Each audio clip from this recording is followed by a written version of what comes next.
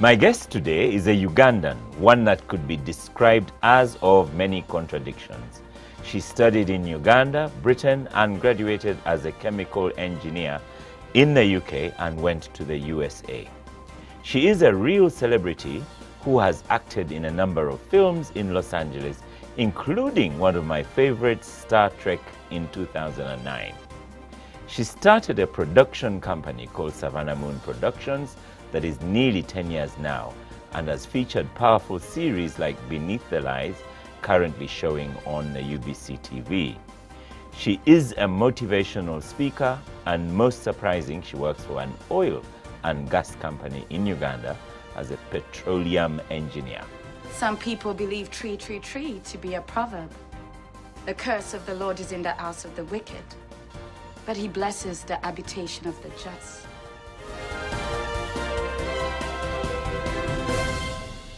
I am Oscar Semoyam Soke, and this is NBS Face Off. Welcome to NBS Face Off, uh, Ms. Nana Hill Kagga. Thank you or much. Nana Hill.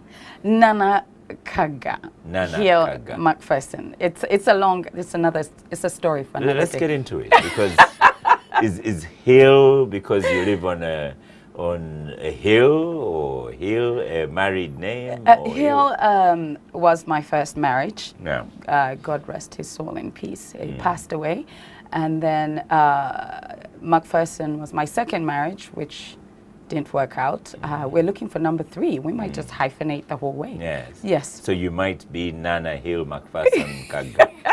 but for now, Nana Kagga could Yeah. work very well. Yes, Nana Kagga. But if I went to Los Angeles, for example, Yes. the only name that could find you easily would be Nana Hill. Nana Hill was my stage Right. name. Yes. Mm.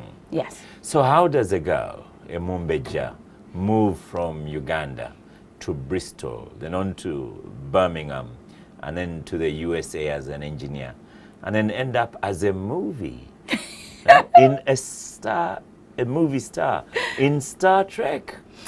Enterprise crew at that. Yes, Mm. yes. Okay, when um, when I was little, I, Mm. I, I, I used to think of myself as a storyteller, and um, ironically, I'm both an artist and a scientist. Mm. So I come from a family of engineers. My father is a civil engineer. All my brothers and sisters are engineers of sorts, apart from one who decided to do finances so he could do our accounting. Um, so I decided, you know, I wanted to do something where I could have a broad spectrum of choices in engineering, and um, chemical engineering does that for you. Mm. So it gives you can either be a process engineer, petroleum, work in makeup. It, it's, there's a lot of options when you're a chemical engineer.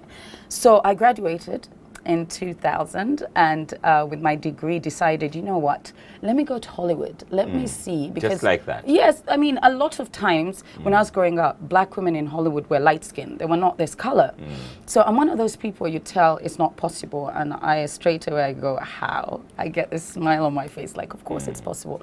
So I, um, after my, I got my degree, I got on a plane and I said, I'm going to Hollywood. And my parents thought I was crazy. So did everyone else. And I just Or wanted. perhaps you were crazy. I am crazy naturally. Yes. Most people will tell you that. So I um yes, I went to Hollywood. Ironically, I get there. I had a friend who had been at university with me. She was American Yvette. So she went to her first audition. For her, she was a drama student. So she went to her first audition, and I decided to tag along. And uh, it was ironic. They were casting for Pepsi and they were looking for a dark skinned woman to complement this blonde, angelic um, Caucasian girl. Right. So, all this, I walk into this room, I've never seen so many beautiful women. It is surreal. They're gorgeous, they're stunning, they're mixes of all sorts. And there's me, the, you know, made in Uganda, pretty much undiluted, Mumbeja. So, I walk in and I sit on the side, and this uh, very, very flamboyant casting agent walks out and is shouting, I can't find a black woman. Then he sees me and he goes, That's my stripper. That's her. Stripper. Yeah, yeah, yeah. yeah. Right. So I was supposed to climb a pole. I was a 1970s stripper. So he asked me, "Can you climb?" I said, "Of course I can climb. I'm from Africa. Good And could God." you? No.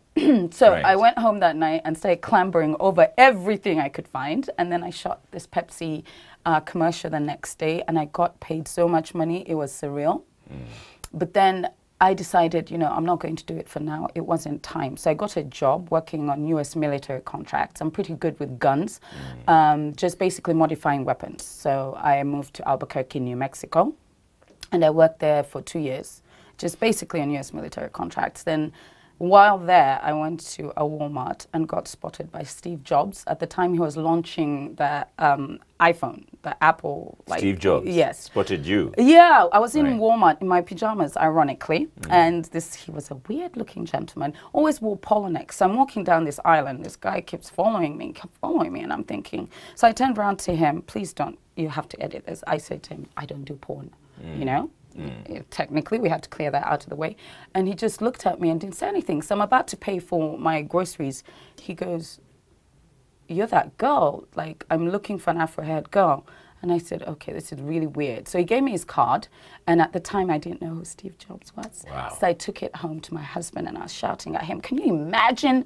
I don't know what he thought. And then he looked at it. And my actually, my husband at the time almost had a heart attack. He goes, do you know who this guy is? I was like, no. So he said, we're calling him in the morning. We did. And then I was on a plane to Seattle by 10 a.m., a private jet. Oh, I've never been on morning, one. yes. Yes, and um, yeah, I'm that silhouette that goes on dos tres with U2. So Mm. Yeah. yeah, then um, after that, I started getting job offers. Then I got a manager. So I put chemical engineering on the side for a little bit, Mm. and I went to Hollywood. And I was that girl who smiled in the Dove commercial, the Pepsi commercial. And then one day, this is really, really, really strange. They, t- they tell me they're looking for a Haitian um, to act in CSI New York Someone from Haiti. from Haiti. And my manager's like, you can do it, Nana. You can do anything you put your mind to. I'm like, okay. So I walk into this room. I'd never even heard a, a Haitian accent. I didn't know what it sounded like. So this gentleman asked me, where are you from? I said, Port-au-Prince. It's the only city I knew. And then he goes, okay, let's go. So I read. And I'm walking out, and I walked past Lupita and Nyong'o at the time. She was also reading for the same part. Ironically, I got it. And Wow. I, I, the day of the set, everyone's talking to me in French, and I'm like, okay, I'm, I lied. No, I'm, I'm actually Ugandan. So And how did that go? um, the, the, the director just bust out laughing. He said, I knew there was something about you that you were talking, and I, have, I had a Haitian girlfriend, and she did not look like you. She did not sound like you. But we got through it, and I got to work with amazing people Gary Sinise, Melina. They're just absolutely fantastic. So I was there for about four episodes. Um, and then, yeah, then I moved on and I booked uh, The Life, which was on NBC at the time uh, with a British actor, the red-haired one. What's his name? Damian something or the other. Fantastic guy. And then I moved on to get my own web series, which was called Runway Stars. And then I moved on to do He's Just Not That Into You with Ben Yes. Affleck and Yeah. Jennifer Aniston. And then I moved on to do Star Trek, which you said is one of your favorites. Indeed, yes. yes, incredible. And you've done music videos as well. Yes, I did Lenny Kravitz, Amy Winehouse. Um, Wow. Yes. uh, Amy Winehouse. Amy Winehouse. Another one of my favorites. She was fantastic. She was such a, a tortured soul, though. I mean, it was really, really odd, but she was so friendly and so. And it was visible as you were shooting and everything. Yes, yes. It just uh, it got to a point. I don't know what she was doing at the time, and she just passed out in the middle of the shoot. So we had to wait for about four hours, where they revived her and paramedics. Uh, she was an interesting. And um, revived and continued with the shoot. Yes, of course. It's people's money. In Hollywood, you're not a person, you're a product. Yeah. You know, they do whatever it takes to get you standing up and in front of the camera. Mm. And it doesn't matter if you're having a bad day, if you don't feel great, you have a job to do. Yeah. And- work is work. You'll be revived. Work is work. And you perform. Yes, and whatever it takes to revive you. Mm. The after effects we can deal with after the budget's been closed and uh, tied up neatly with Yeah. a bow. And and th- this mindset, you know, in Uganda we have a uh, in Uganda we have a scientist, and then we have uh, an artist. Yes. But you're you're an engineer. I do have engineering friends, especially in Rotary, and we're always teasing them that they're engineers. But Yes. now we have uh, an engineer who's artistic. How how did you blend that? You know what? I think it's from my father. Mm. You know, he's a civil engineer, but he's also very good at art. He was really Mm. That's what I was thinking. That's yeah, he's notes. a very, very Engineers are calculating angles and yes, everything, not art. Mm. Yes, he's very he's very good at art. But then my mother is a performer, she's like the. I think personally, if she hadn't had us and gotten Mm. married, and the mindset at that time was okay for a woman to go off and pursue her dreams, I think she would have literally broken barriers. My mother is one of the most amazing people I know. She there's nothing she can't do, but she's been a fantastic mother. I, my mother's fearless. So um, I think I got both sides of both of them. I'm, I like to think I got the best of both of mm. my parents. Yes. And it blended on a 50-50 level, ironically. So I'm a great scientist and I'm also a great a artist. 50-50. Yeah, I think Yes. so. I think so. Mm. Yeah, let's keep it at. My Yes. parents are watching. Mm. We got to keep it 50-50. We'll stop for a break.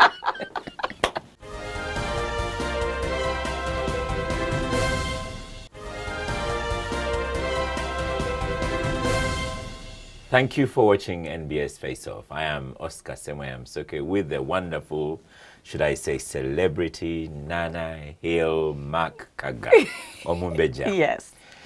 Let's focus on your work as, Yes. as an engineer. And I'll, I'll ask you about a motivational speaker. Yeah. You, do you turn up for work like this? Oh my, yes. with an Afro Yeah, engineer? Yes. I was thinking about you going to Los Angeles and, Yes. and telling these people this is I'm a very dark black person and you're going to employ me. Yes. But even in Uganda, if you turn up and say, Here I am, I'm an engineer, and they're looking at your Afro, uh, it, it could take a little bit of a hassle to It, employ it you. does. It does. I, Mm. ironically, my first job interview, um, I gave them my CV. Mm. I first walked in to Tullow Oil at the time at uh, Plot 15 Yusuf Lule, and uh, this guy staring at me, the interviewer, and he stared and he said, you know, and he said, you know, I was on a flight on British Airways, and I swear you were in a movie that I watched, and he said he was called He's, he's Just Not That Into You. Mm. And he, I said, no, that wasn't me. So he pulled out his phone and he like literally went to YouTube. Then he goes, this is no way, this cannot be you. So I said, oh, oh yes, okay, that's me. And then he goes, and you're, you're claiming to be a chemical engineer as well. I said, yep. I am, I am. Hmm. And he was like, okay, I need your degree, blah, blah, blah. So then we got chatting, and it was the same question he asked me. It's like, you're not the typical engineer, because I do turn up in my high heels and my dress, and I'm very feminine, but I actually I'm quite masculine when I'm running things. I hmm. am, I'm a juxtaposition of both. I like to look feminine, Yeah. and then in everything else I pursue, I pursue it with a single-mindedness that has been almost We, we are going to talk about your series, Yes. Beneath the Lies. Yes. And, and I agree with you that you were running those in a very masculine manner, sending out direction and orders and instruction. Yes, I, I've been described as almost. Um, I, I- don't know, masculine is the word every time people see me. But the irony of life is when I used to walk into meeting rooms and they'll say, Engineer Kage is coming. In the oil industry, it's a very, very masculine dominated uh, place.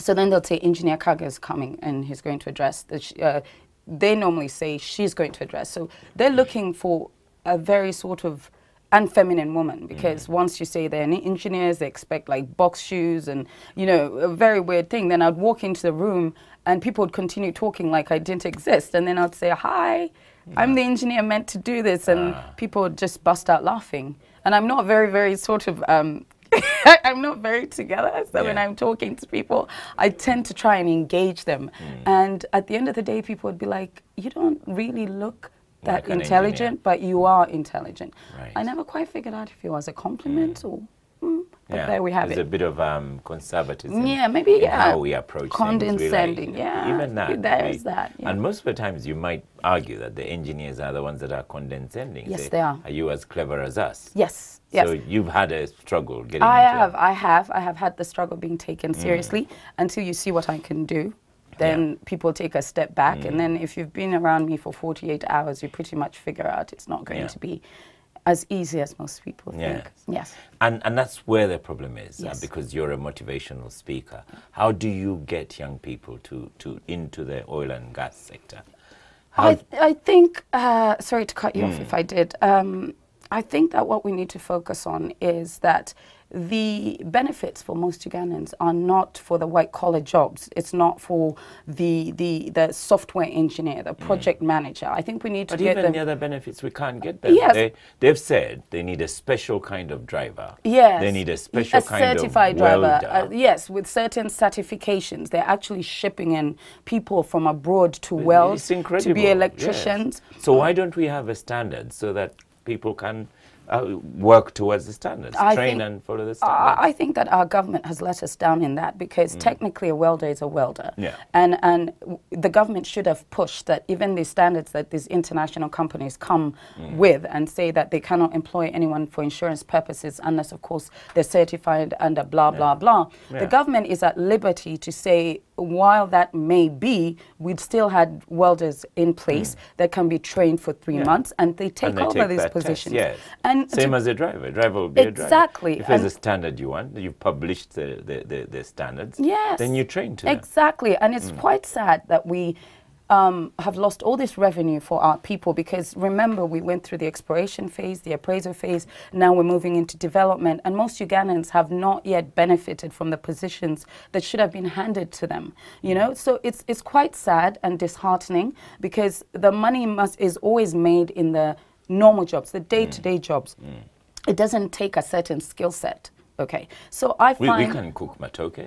Of course, we can do laundry. Yeah. You Yeah, know, we yeah, laundry, you know. so- But you will find Are there standards for that as well? yes, you And find in these are, we could learn campsites, uh, Mm. like even the laundry people are either Chinese or they're actually importing people in to do the laundry, to do the cooking. It's quite shocking, really. Mm. And they're talking about, oh, these are the standards. I mean, what a medical profession is a medical professional. Yeah.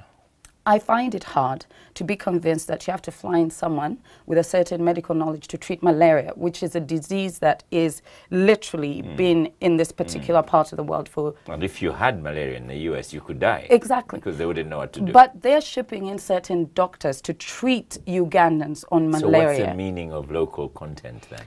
I I struggle.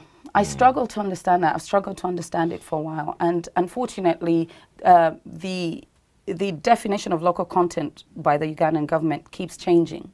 It keeps changing. The documents keep changing. The guidelines keep changing, and we cannot agree to what must happen, mm. and it must happen soon. Otherwise, we're going to have a generational gap whereby you're still going to let's just say you implement it five years from now because of course when policies are made Yeah. they take time They to have to be implement. grown, yes. Exactly. Mm. So in those five years, you're still going to be shipping in labor from abroad while people sign off or reject or do all sorts. So it's it's very local content in Uganda is yet to be defined, and yet it's very clear. Mm. There's certain jobs that must be for Ugandans. Okay, I can understand you shipping in a project manager because of course we don't have a history of you know executing projects on such a large scale. Mm. But at the very same time that project manager needs to be given a timeline of when they have to exit. Mm. So whoever stands below them must be a ugandan so that they actually acquire the skill set to take over in a certain time. But unfortunately that's not happening mm. you know. They're just issuing work permits to people and saying,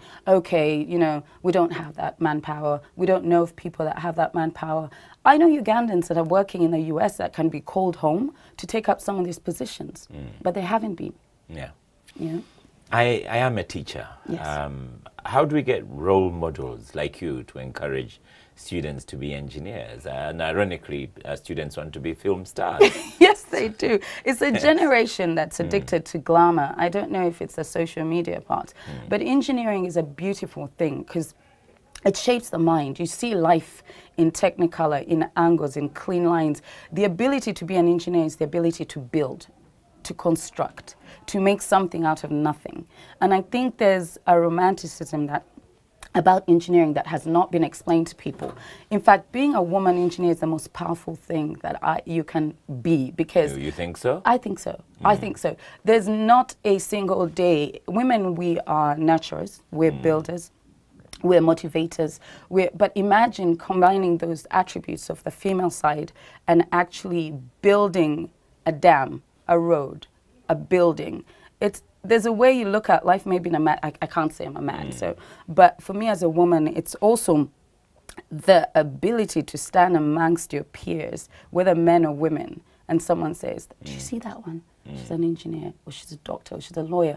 I find engineering is you know, people look at you like, you know, to be an engineer, you must have given up on life or something like that. I don't know. But I think personally, there's nothing you can ask me to do that I wouldn't sit down and think, Mm. it is possible. I can do it. I just need a, a minute to think about how it can be done. Mm. Yeah. So, It's, it's, it's, it's interesting when you put it like that because the real challenge in Uganda is there's a decision that engineers must be clever. Now, so it's people like yourselves that went to Gayaza that end up as engineers.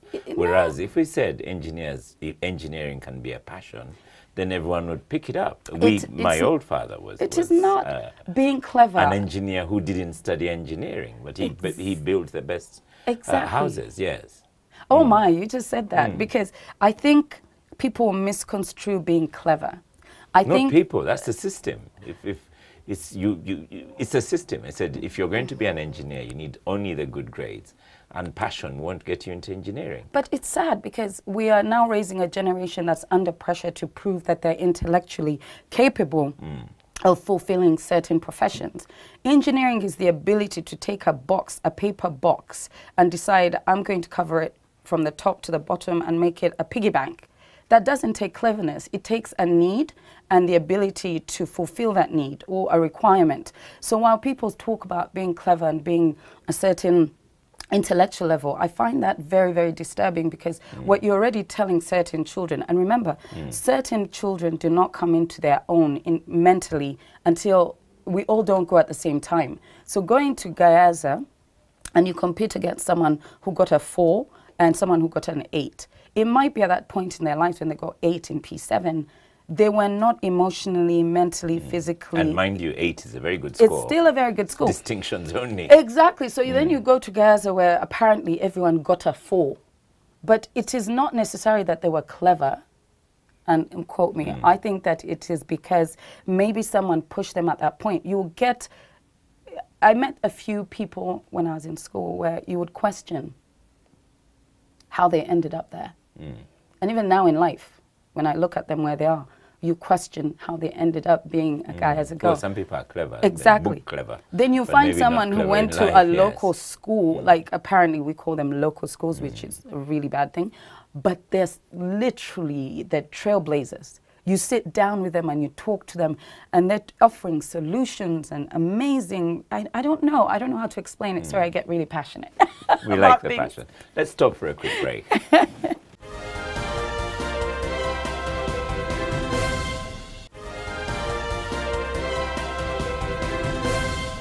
Thank you for watching NBS Face Off. I am Oscar Semoyamsoke with the wonderful Nana Kagga.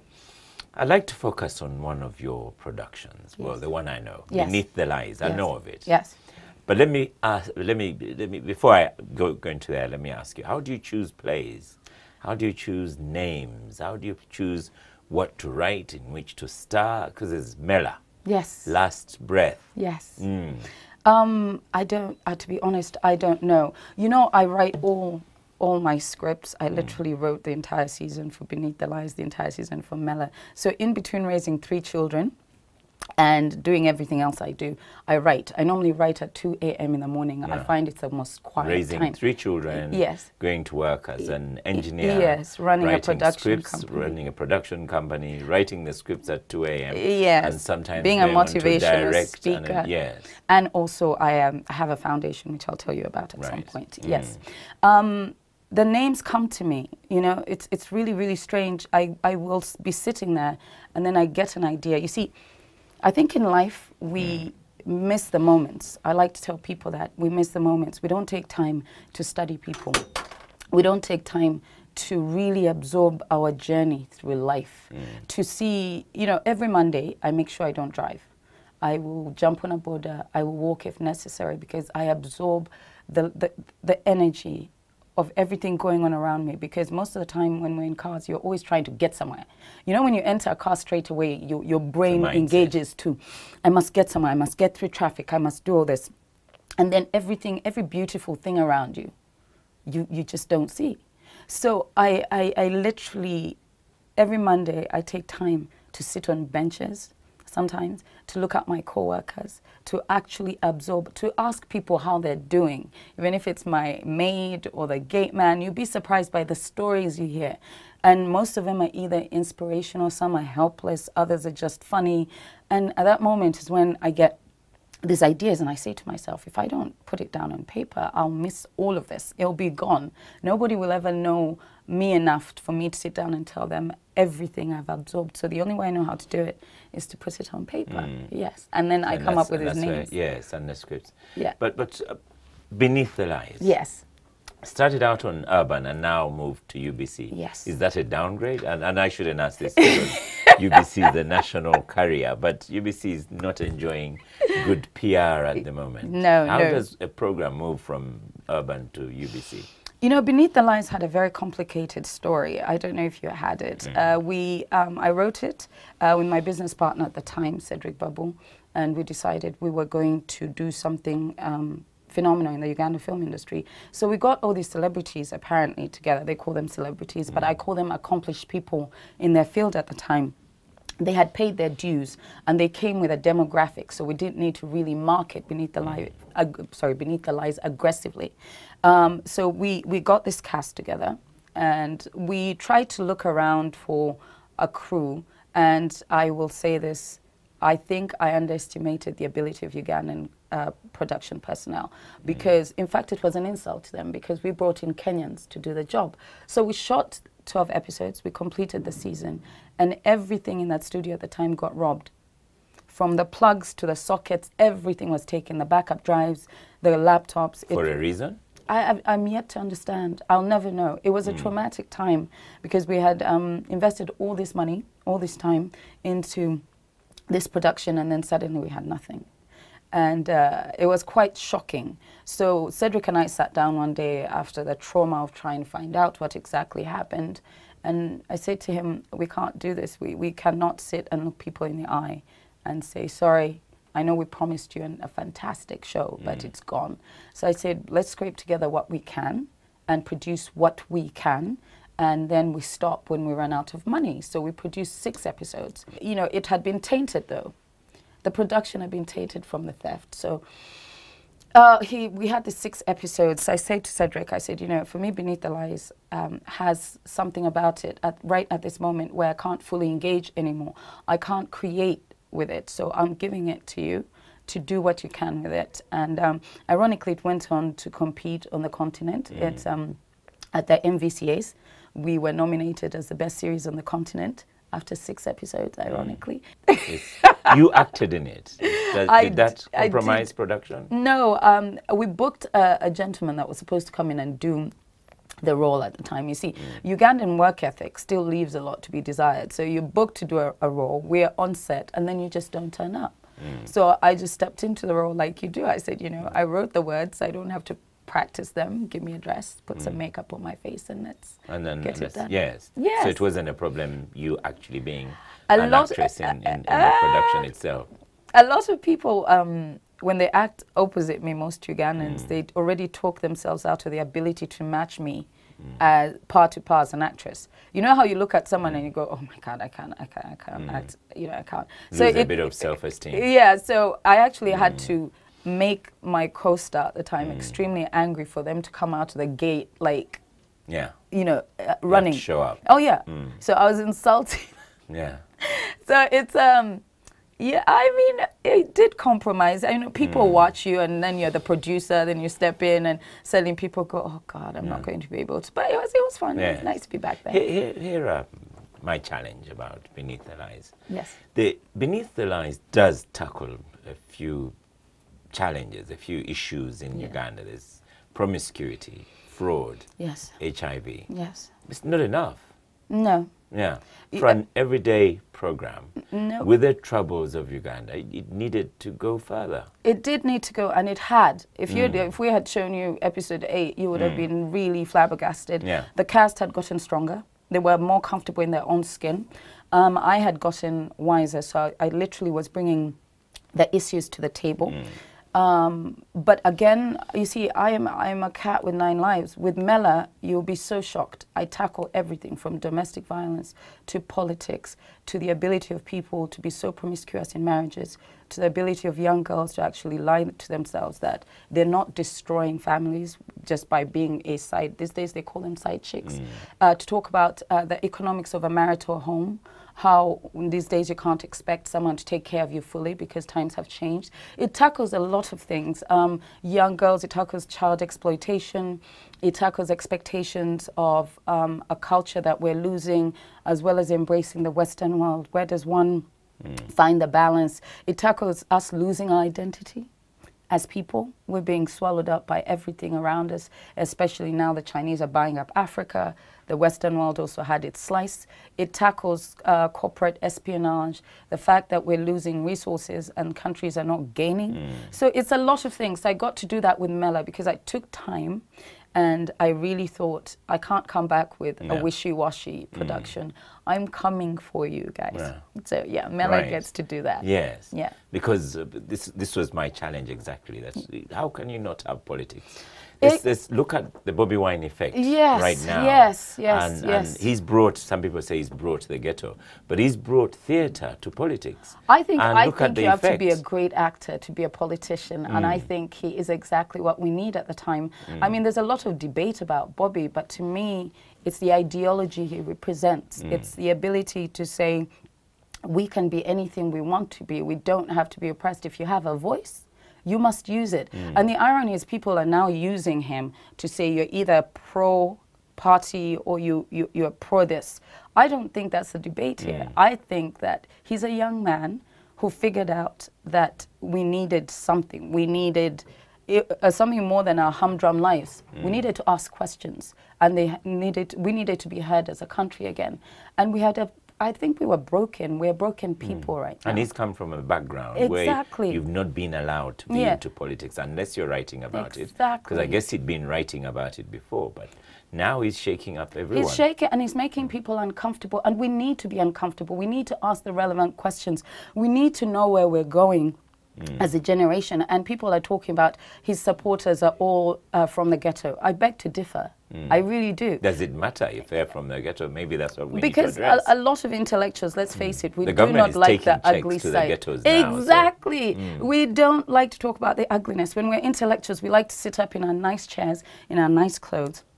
And debate issues in our nice houses, and then go to bed sleeping and wake up and go to your job. You're not faced with the real issues. You're Mm. not on the ground. And I think, for me, I'm, I'm, I'm just like, it's time. Yeah. It is time. So It's- Nana Kagga is, is addressing these issues in in Mela. It's- I it's- am. I We will not accuse you of chewing gum. No. We'll, we'll have. No, we are Mm. a divided, broken nation, and we must at some point figure out how to actually accept our differences, but still do something towards the good of the country. I think for years we've been told if you speak up, it's the same mentality in schools. Mm. When you speak up, you will be punished. And then comes this young man who already has a following through his art, and he says, you know what? I, I will speak up and I will make you uncomfortable and I'll shake the nation to the point where people wake up every morning and debate politics. Do you know, I've even gotten goosebumps Right. because when you wake up in the morning and you can debate points, fundamental points, and people have different views, but you can debate them with your peers, whether you agree or not. That's living. Mm. That's fighting for a country. I know my children, whatever we leave, whatever Uganda we leave for them today. Yeah. We stop for a. Yes.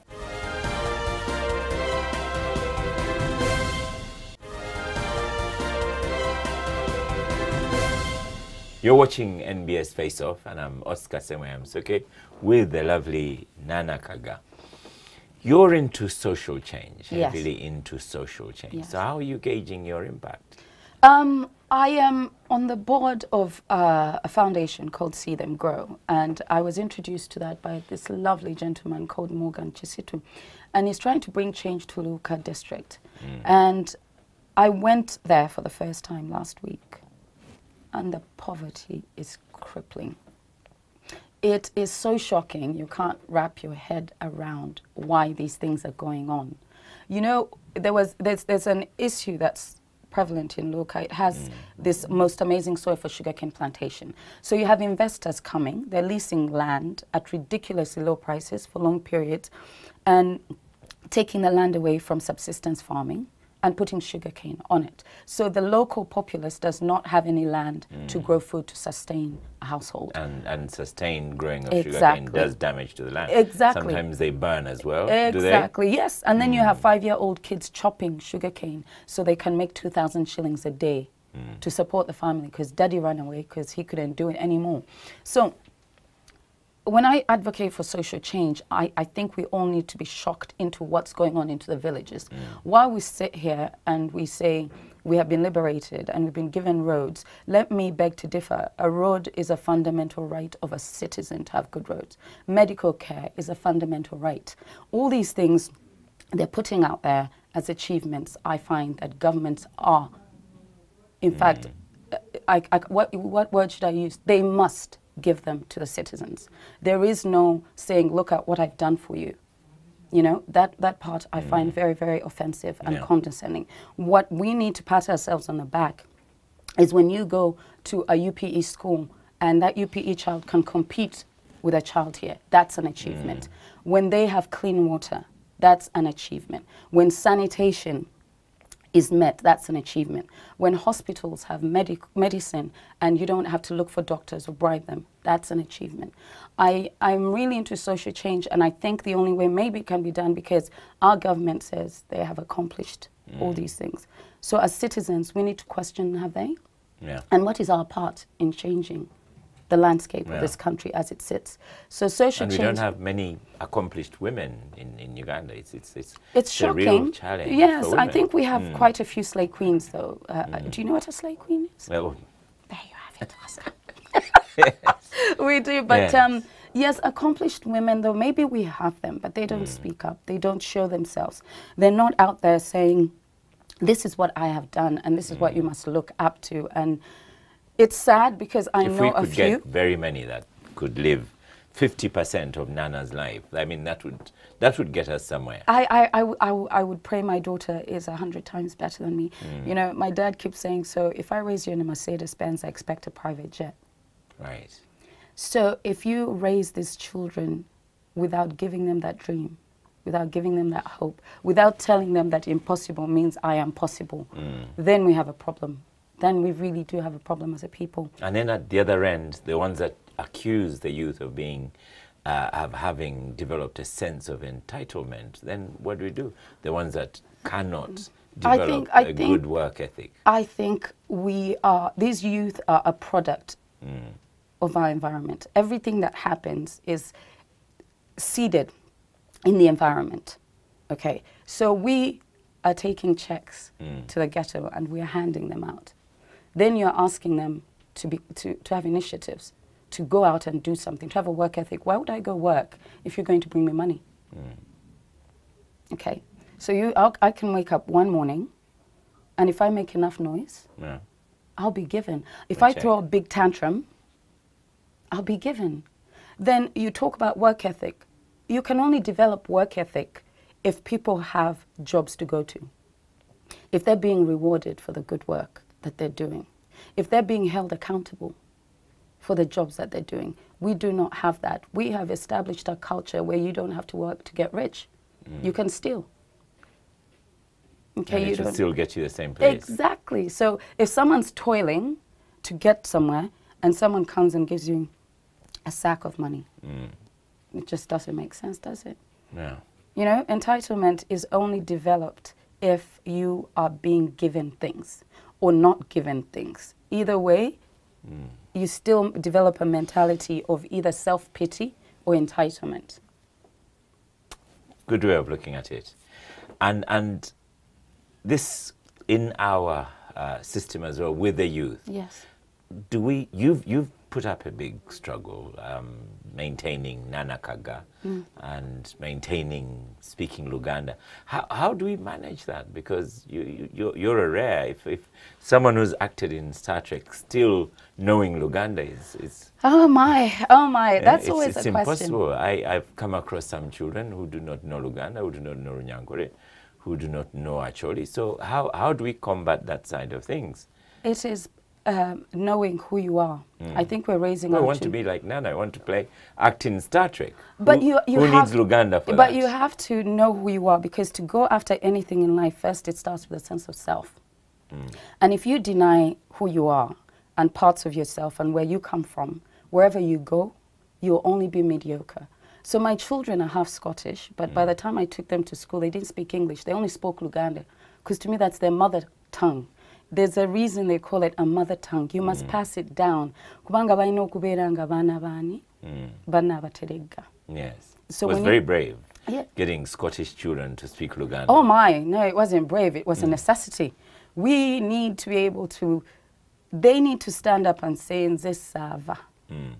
Okay. So their identity lies within. They're still young, but do yes. you think they've benefited? They, they have. Then my, my daughter kneels when she greets my, uh, my parents. They must know that elders are people to be revered and respected because our culture teaches you that. When you put on a gomesi, it is automatic self-respect because bw'osiba ekikooyi n'oteekako obusuuti n'oteekako ekitambaala straight away you stand taller. You're not exposed. Suddenly you're this regal being. But you know, I was joking. Or not something to put women down? Exactly. No, some, perhaps some view it that way, that Ex- we still get you wearing a gomesi because we want to keep you buttoned up. I up. think we need to be careful about westernization and its interpretation of our norms. You know, if you dig too deeply, you always find a caveat of why something will not work. So I, I will not raise my children that way. Now, yeah, our uh, culture did things for a reason. Because up to this day, the fact that I kneel for my father, I can never speak back to him. You know, when he calls me Navaterega Kagari, you, you, you, know mm. it's, it's serious time. But also, my dad, by taking us to boarding school in the UK and making sure I know how to peel matoke and to kneel, and to, if, even when I was in boarding school in the UK, you couldn't talk back to me. I knew who I was. I knew where I came from. Mm. I know that my father, Murangira, Mvamu, you know, even in Hollywood, you know, Hollywood eats its young, and we need to be careful about the film industry because as the film industry grows, it promotes this glamorous thing that strips away morals. And social media pro- uh, propagates it as well, yes. So you are now, you must be like Kim Kardashian.